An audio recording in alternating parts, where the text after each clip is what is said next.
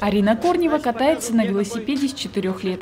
На слет ЮИД она пришла с командой 14-й гимназии, чтобы отстоять честь родного учебного заведения. В нашей команде два мальчика и три девочки. Все с удовольствием принимают участие? Все очень рады этому, все с удовольствием сюда пришли, всем очень хорошо, всем нравится это. Количество транспорта на дорогах ежегодно увеличивается, возрастает и аварийность. Нередко жертвами ДТП становятся несовершеннолетние.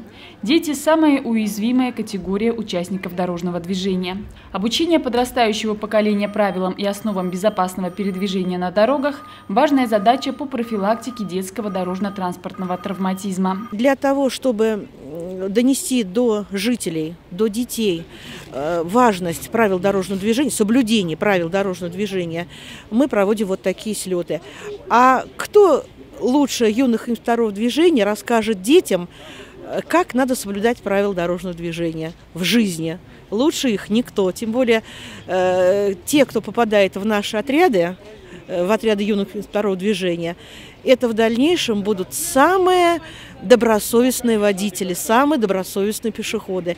И вот в этом основная цель и задача наших, нашего слета. Те ребята, которые, как и Алексей Аверьянов, начинали свой путь в отрядах ЮИД, сегодня выступают в роли судей, наблюдателей, помогают в организации и проведении слета.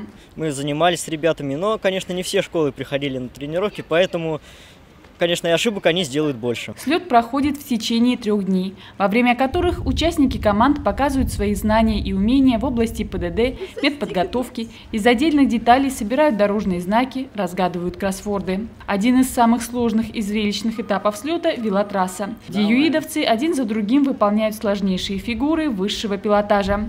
Конечно, бывают и ошибки. Проезд на красный сигнал светофора, вот на том свето, э, светофоре у нас есть дополнительная стрелка. То есть они едут не по дополнительной стрелке, а выезжают на основной зеленый, что запрещено. Или не показывают повороты или остановку руками. Также пересекают сплошные полосы и производят разворот в неположенном месте. На площадке за эти нарушения назначаются штрафные баллы, а в реальности это может стоить жизни. Необходимо помнить, что соблюдение правил дорожного движения – это наша с вами безопасность.